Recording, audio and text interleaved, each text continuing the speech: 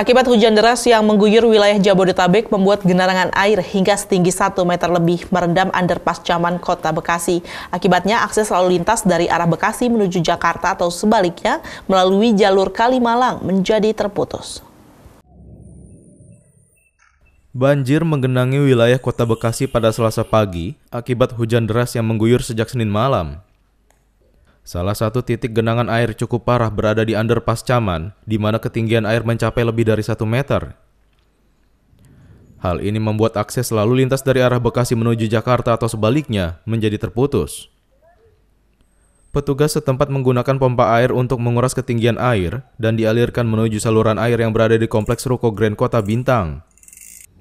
Kendaraan yang melintas di Jalan Kiai Haji Nur Ali dialihkan menuju Kompleks Ruko Grand Kota Bintang, kemudian diarahkan menuju Bintara akibat akses lalu lintas yang terputus. Boy Aditya memberitakan dari Jakarta.